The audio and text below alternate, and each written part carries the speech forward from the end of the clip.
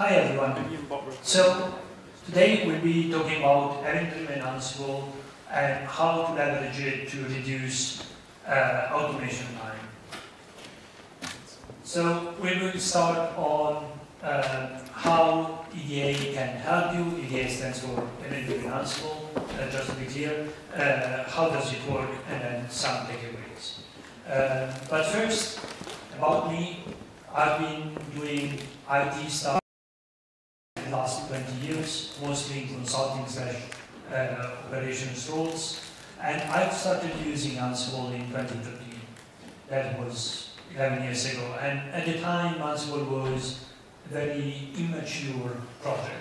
Um, but it really matured over the course of the last 10 years or so. I do work for Red Hat, uh, but I have a very big disclaimer here, which is everything we are going to discuss today is fully open source. So you can pick it from the Git repositories and do exactly what we are describing here without having to buy any subscription or anything like that. It's fully open source. So I would like to start with something that happened many years ago. Uh, the time, was not an option, so it was not used. Uh, but I think it was very interesting to see. So what happened is that I've been notified one day uh, that the day before there was an outage. And the, the time of getting the system back was considered too long. This was everything I knew at the time. So I started to analyze a little bit what exactly happened why happened, let's you know, figure out what happened exactly to, to fix it. So the, the first thing that obviously uh, is the beginning of an outage is the system that goes down. In this case, it was the ERP system of the company, which means basically everything went down. And then someone, the on-call person, gets a call of uh, from the system. It says system is down, do something. So as you can imagine, what does the, the person do? It start to uh, work the issue, try to find the cause, and, and in the end, it decides that it's not really something he can solve, uh, or is not sure how to solve it, at least. So they open ticket clearly. And the, the issue also gets assigned to the ERP team, which work is to keep the system up and running. And the person from this team gets the ticket and then uh, solves the issue and then uh, gets the ticket, works the issue, and then obviously we have the, the system that goes up. That seems fair. Who has seen something similar in their life? Oh, many people. Wonder why. Well, this is basically how everything works in big enough companies. Now, who sees issues here? Okay, some see some issues. Okay. Uh, not everyone. What if I tell you that the whole thing was more than six hours long? Who still does not see any issue here? Okay, no one. Interesting. Uh, I have another couple of information that um, I think are very interesting. Because I was like, okay, that seems like a very long time to fix an issue. I guess that the majority of the time was in that phase. The person that is uh, trying to debug the issue, trying to fix it, my assumption would be that out of the six hours, I don't know, a few hours are there? Actually not. 4 minutes, 57 seconds. So that person takes a, uh, sees a ticket. From the moment he accepts the ticket to the moment that the service goes off, 4 minutes, 57 seconds. Which seems oddly small number of you know, minutes. It feels like this person was exactly aware of what the issue was and how to fix it. And then as asking around, it came out that actually this same issue already happened eight times in the previous six months. So obviously, yes, the person was fully aware on what he's doing because as soon as got the ticket, immediately understood what the problem was and fixed the problem. And the problem was a database that uh, had filled all the, the space. So basically the fix was remove some files from the disk and then restart the database. Now, this does not feel like a good use of six hours. Because, as you can imagine, the majority of time was actually in this phase, which is someone that had very little knowledge about the system getting the call and then after a while decide to open a ticket, but at that point it's a second level ticket, so uh, get queued and so on.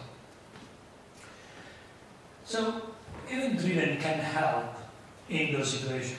also in many others as well, but this is a clear example where uh, if a system, an automated system, was going through that process, it could have solved the issue in four, five, ten minutes, something like that. So it would still be six hours less of the runtime.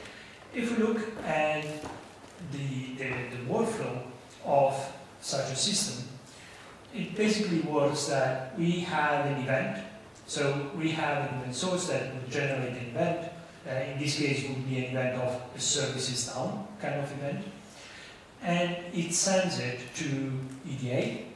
EDA gets the, the event, analyzes the event, it identifies it as a known problem, because as we have seen, that problem already occurred multiple times in the previous six months, so obviously it was actually a very known problem. And then it triggers the solution. Now, uh, the uh, solution or the automation uh, can be either to report the incident, so basically to go back directly to uh, the developer, or to remediate uh, the, the, issue itself if also the, the solution is a known solution. And all of this uh, can work across a lot of different platforms and technologies, which is a key part.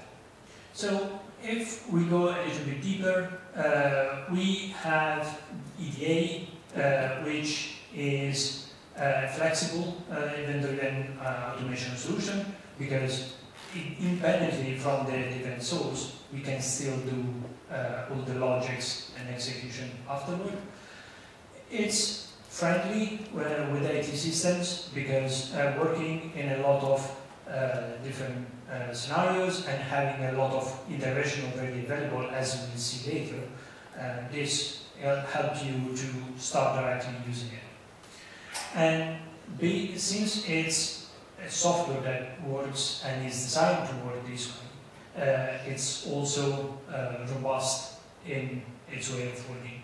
And the big advantage is that you can reuse your Ansible automation. Now, I've assumed so far that everyone here knows a little bit what Ansible is and what Ansible does. Is there someone that has never heard about Ansible? No? Oh, okay, a couple of people. So basically Ansible is an automation system that uh, is, is using infrastructure as code principles and describes a process or a state of a system in YAML form. And then you execute Ansible and it will provide you that state. And what you can do with EDA is, if you already have your Ansible labels for the usual things you use Ansible for, uh, you can easily trigger those from EDA, so from an event. So effectively in a reactive mode as well. Now, just to give you a couple of examples of common use cases uh, for this kind of event-driven logic. Uh, I have a few, but you know there are many, but those are like the first few that come up The first one is in the networking side uh, for, for and routes events. So it's fairly easy from uh, firewalls or, or routers uh, to get information about which ports get pinged or which routes get navigated through.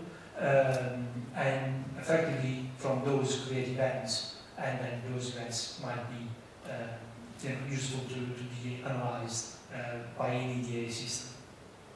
Another example is infrastructure, like the, the one that we have seen before. Resource limits is by far the most common one. Sto uh, storage limits is by far more uh, the most common one for uh, those as well. Uh, so effectively, if you are filling up the disk, you can do something based on that information.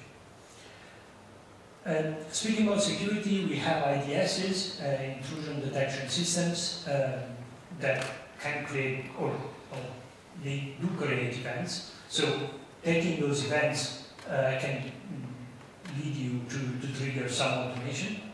And on the other hand, also user creation.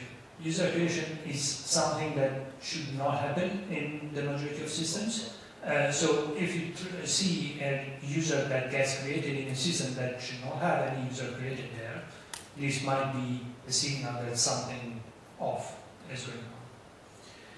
Applications also can uh, launch events or can have um, logging systems that launch events for them.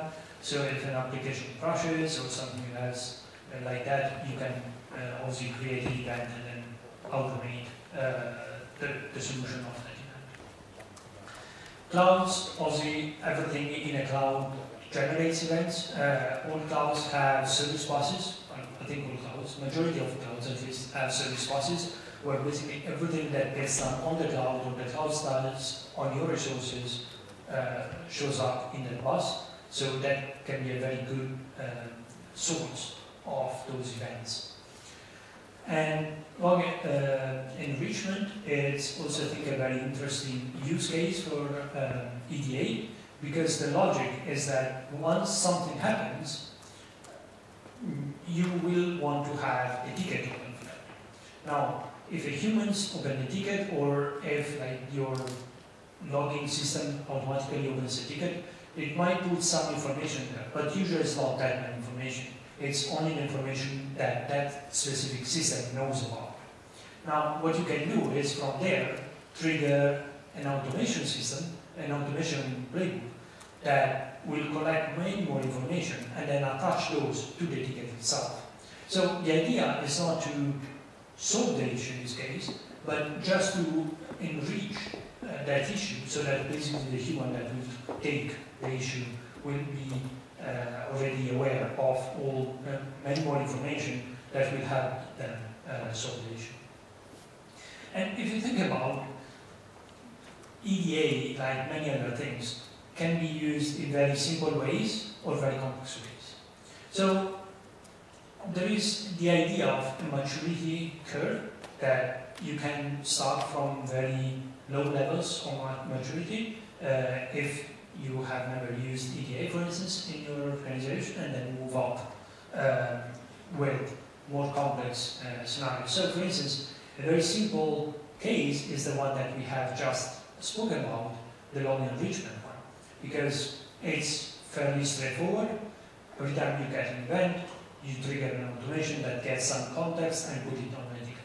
It's also low, low risk because Worst case scenario, nothing will be attached to your uh, to your ticket if something goes wrong. Uh, and in the other hand, it's not risky. It's not doing anything, you know, changing your environment. Therefore, it's not risking the stability of your environment. And then you can go uh, to higher degrees of automation. So, for instance, uh, you can have for very common tickets uh, that you get as a team, you can have some automation there. So I was speaking a couple of weeks ago where uh, a team that was uh, dealing with a bunch of tickets and we analyzed their tickets and they were like 50% were just to add users to directories, that you know, to give users the permission to read directories. So that's a trivial thing to fix, uh, and even for them it was trivial. But when it's 50% of your tickets, just that, then why not automate it? And then over time, you can add more and more complex um, kind of workloads um, and more complex kind of event. So, for instance, uh, one would be that when you have certain change windows, so windows of times where you can actually do changes, you act in a certain way. If you are outside the change window, then you act in a different way. That's an example of something that can be factored in in more complex automation.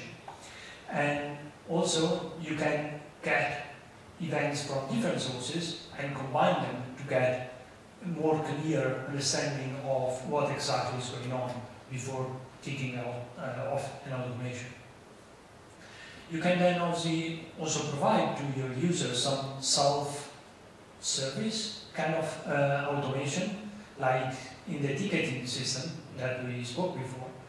If you automatically uh, close the ticket by you know, doing the privilege uh, assignation uh, with the automation, then it becomes basically a service portal where people can just go on it, uh, ask for the, uh, the permission, and then some manager or whoever will approve it, and then as soon as it's approved, you can immediately uh, ensure that that person has that right, or you know, in a couple of minutes maybe. And then also you can do more complex things or more weird things, like put some AI into it, because you know, nowadays if you don't put AI in everything, it's not cool. So, as you can see, there are multiple levels uh, of automation. I would say there is one that is a automate service and response, which is a the very basic level, and then you can do more complex things, and then Ops, um, compliance as code, operation as code, self-service things, and so on, which are like the fancy words that every IT departments want to use, but not really using it. So how does EDA actually work internally, let's say? There are three different concepts that we need to look into. The first one is sources, second rules, and third one is actions. So starting from sources, Ozzy, um, we have many different event sources. There is one that are what I call the common event sources. So effectively those are like files, uh, file watch, which means that you are watching the file if that file changes, for instance. Uh, if you are in a systemd-based operating system, obviously you would have journald with all the logs into it, um, range, boot checks, uh, but also webhooks, which is probably the most common one.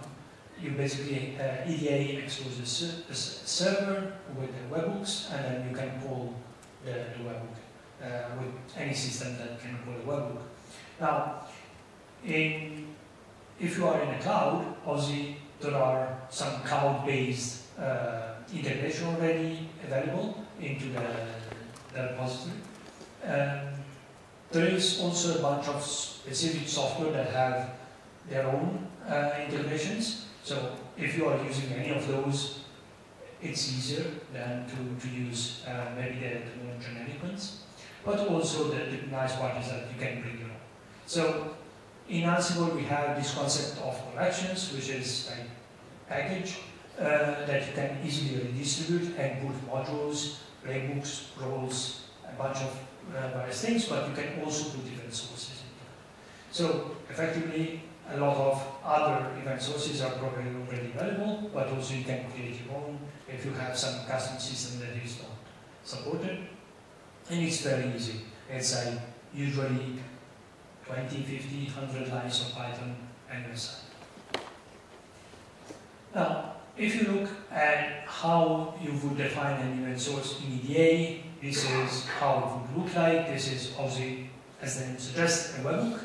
And we, in this case, webhook only has two parameters, or only needs two parameters actually. One is the host uh, that uh, can call it, and then the sorry the bindings uh, where it will uh, the service will bind to, and then the, the port that is the port that it will use. So as you can see, it's fairly straightforward, and if you know a little bit about YAML, which I think it's everyone by now because we are all YAML engineers in the end. Uh, this is a list, and the reason is that you can have more than one source also. There is then the concept of event filters because we got the, the events from that source, but probably we want to tweak those events again. So the advantage uh, of filters is that we can tweak uh, the, the internals of the event. So uh, there are some filters that are already provided. So one is the JSON filter that allows us to add or remove uh, parts to that, that JSON. Usual events are running in JSON, or least they have to be uh, transformed into JSON uh, before entering EDA. So with JSON filter, we can go to add and remove fields in that event. Uh, but also we have the dashes to underscores. There are a bunch of systems that provide dashes, other like more underscores. So we have these dashes to underscore.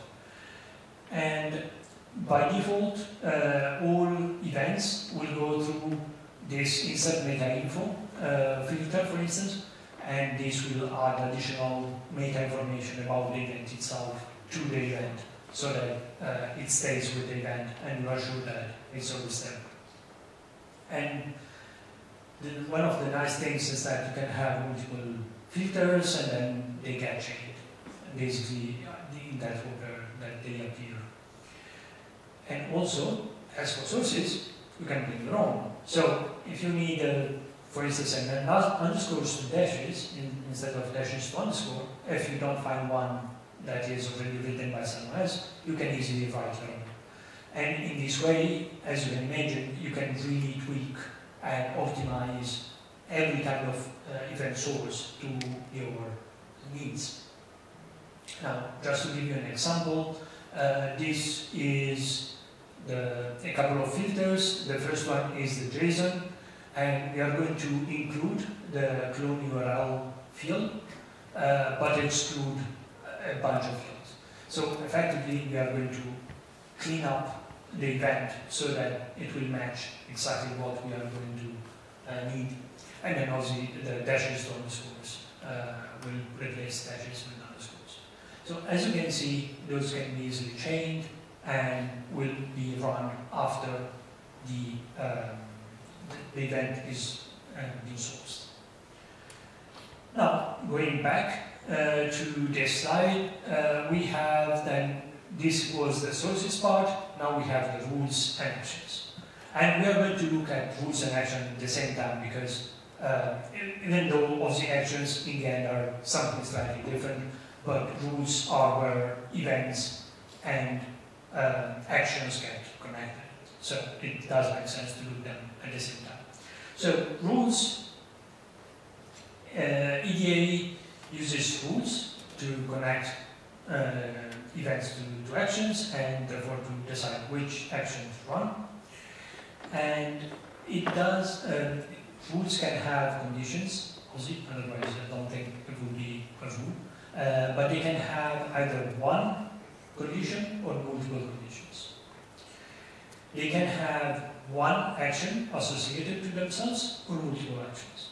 So as you can see, it's you know it's always one or many, one or many, because it's a very flexible system and wants to be able to cater to a different uh, kind of uh, events every time. Now, if we go a little bit deeper into rule conditions, uh, the condition uh, can use information from the event itself, so the received events, uh, but also previously saved events within a rule. So effectively, if an event already triggered the same rule, can be re-referred um, uh, in future runs of the same rule. Uh, but also longer term facts about the system, so if we are running on a certain system, it will have some facts, and some effects, uh, and we can use those as well. Uh, but also variables provided as vars. A condition can contain one condition, that's the simple optional thing, uh, but also multiple condition, either with bool, so that it's an AND every statement needs to be true, or any, which is nor, so effectively any of those needs to be true. And uh, it does support many uh, different kind of data, so usually it's uh, covered. It's also possible to set some facts here, as well as generate events, which I think is a very interesting thing, because it's a, while you are parsing an event, you generate more events, uh, which help you to abstract and concatenate uh, potentially actions. So if we move to, to the action part, uh, they are YAML, um, and uh, they can be triggered, um, so the trigger can, uh, the, the rule can, act, can trigger different actions. Um, and one is run playbook. Run simply means run this Ansible playbook.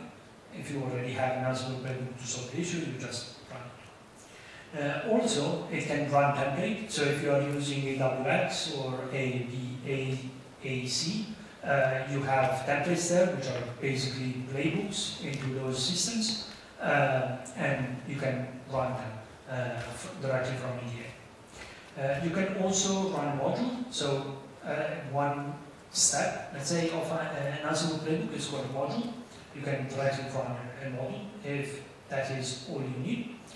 And you can also set facts here, uh, or create a, a, new event for, um, you know, the, to, to, to trigger another uh, rule, maybe, or print the event so that uh, if you are debugging it, all those kind of things, you can see the event.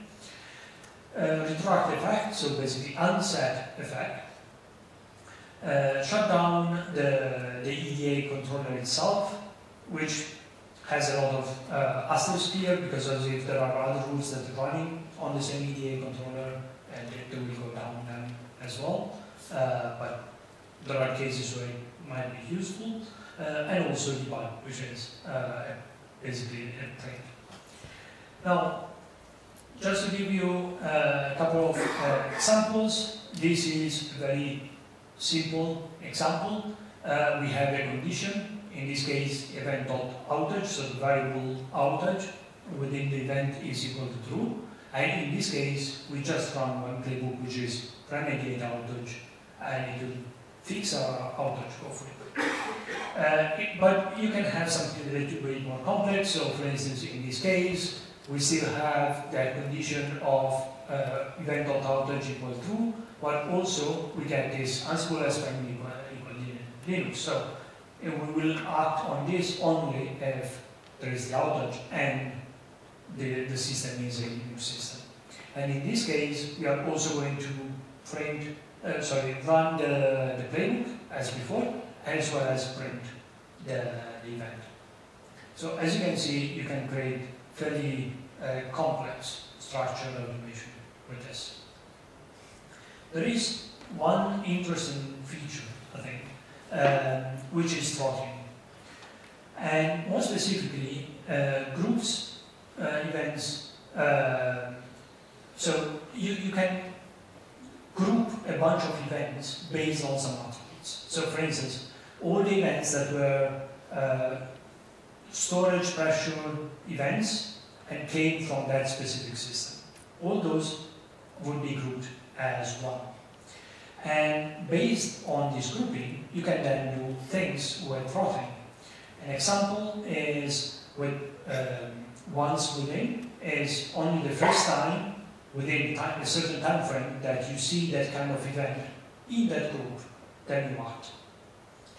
But also, uh, you can also do once after, which means that after that time frame is finished, it counts the number of times that got fired in that time frame, and then it will run knowing how many times it was requested, basically, uh, so that it can act differently.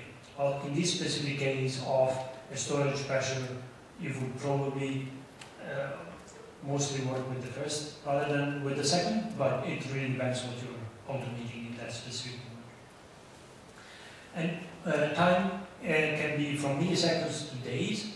So as you can imagine, this can be something like, oh, uh, did I got fired two, three times within, I don't know, two seconds because different system fired me for the same reason? Or, uh, so this is one kind of usage, or the other one is I, in a day, uh, so that at the end of the day, maybe you do something based on something that happened throughout the day. So, um, a small example, uh, well, two examples actually. The first one is uh, with once within. So the first time within the first uh, the, the, five minutes range uh, that we will get an event that has outage true uh, for this specific host um, in uh, this specific code, the, the, error code or event code that it gets. Uh, then we are going to uh, send this notify outage, uh, run this notify outage playbook. Uh, well, the second example is with the once after, so effectively we are going to wait for five minutes from the first event, collect all the events that are going to happen in those five minutes, and then we are running one time notify outage um, at the end of these five minutes, knowing that, for instance, it got five, three, five, seven, 15 times in that time frame. Now, rules alone uh, don't really relate to sources and filters that we have since uh, before, so how exactly do they relate? And they relate in rule sets. So rule sets require a unique name. In theory, everything should have a name, so this is a requirement for rule sets. Uh, they have at least one event source and uh, they have a host uh, indication on which host the, the playbook or the actions will be run upon and it will have a list of uh, defined rules. Now, rule sets, uh, every rule set runs independently of all the other rule sets within the rule engine, so they will, you will not have spillovers from one rule set to the other. But until you are in the same rule set, it runs as a single piece of code. So events and facts are kept separate uh, for each rule set, but are shared within the rule sets. Uh, and also, uh, you can have uh, rule sets that call uh, other rule sets.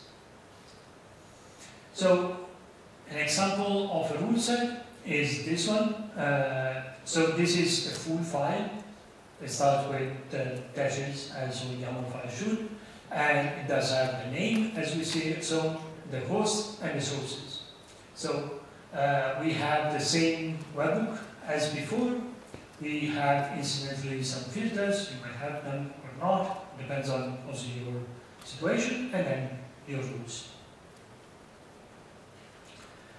Now, rule sets are stay within rule books, uh, and you can have one rule book that contains multiple rule sets. In the same way that you can have a playbook that contains more, uh, more than one play. Uh, and uh, different uh, sources can be set for different plays. Uh, sorry, for different rule sets. Also, rule sets, as I are very are structured in a very similar way as plays and in the same uh, metaphor. Rule books are very similar to playbooks. So just to give you an example, this would be a rule book and we have the rule set number one and rule set number two. So effectively these rules will apply to this second uh, event source and those rules, well, there is only one, but if we had more than one, would apply to this one. If something uh, calls this webhook, the, the, these rules will not see that event. So, some takeaways um, out of this. First of all, triggering automation uh, directly from an event source can lead to way shorter outages because obviously we can skip at least a few steps of that long chain of before, uh, and potentially all of them. If we automate directly the, the, the solutions and we have the outage, the event of the outage, then the automation that fixes the issue, and then the service backup. Uh, EDA allows you to trigger Ansible automation from many different event sources, as we have seen. And if you are already using Ansible, then you probably already have a bunch of playbooks which you can reuse easily uh, from EDA itself. And also, um, EDA is, in one hand, it has a lot of features, as we have seen, we have just seen uh, the, the very basic ones. There are much more complex features, but still, it's very straightforward if you look at the YAML code. There are sources, filters, rules, and you know, that's the flow. All right. Thank you very much. Thank you.